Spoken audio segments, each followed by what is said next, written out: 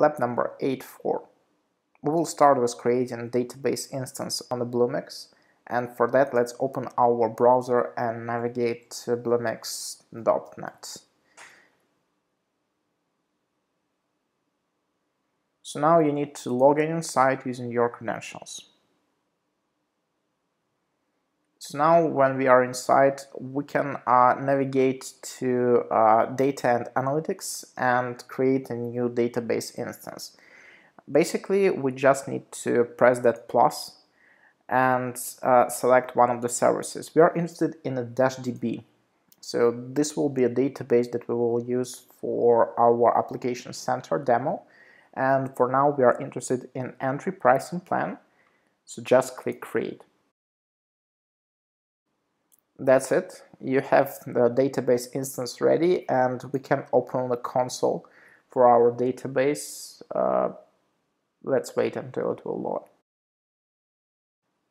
Okay, so we are here, we are inside. Uh, basically what we need to do is we need to prepare database tables for application uh, center to work properly and that can be done uh, using the run SQL uh, menu item from the menu and what we can do here is we can just place the SQL script right here and whatever will be placed here with our changes will be able to run. Uh, we can select default schema uh, on which it will be executed and so on. But uh, by default, we can leave everything as is. And the script that we are going to run is actually the preparation script from uh, server uh, installer folder for our application center. So the folder looks like this and this folder you will get once you will install the server instance of mobile first platform. So there will be a folder called application center and inside the application center, we have a folder called databases. And what we are interested in is we are interested in create app center db2 SQL script. So we can just open it using the text editor.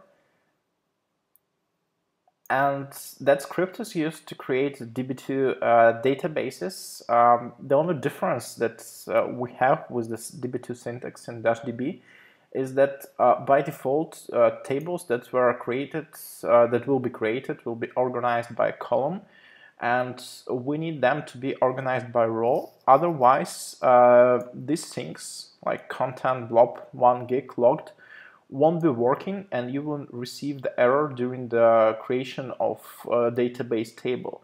So basically what we need to do is we need to replace uh, the standard ending of our create table script with organized by row.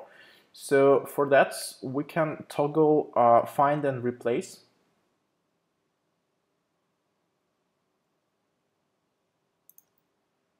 Just like that, and replace everything that we currently have with uh, ending called organize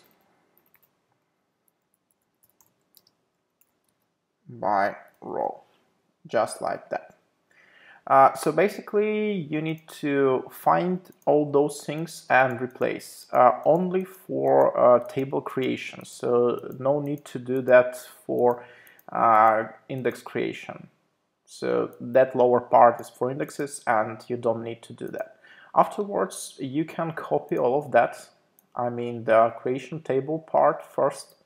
Let's go with it and pass inside your run SQL uh, replacing everything that is there now, we can go with validation to see that syntax is valid, and then we can simply execute the statement using the run button and wait until it will be finished.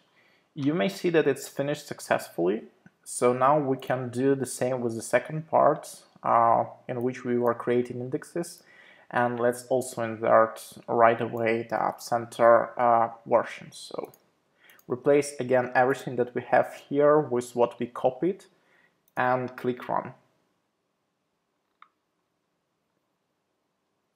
Basically that's it. We have our tables and if you will go to uh, tables tab, so let's wait until it will load.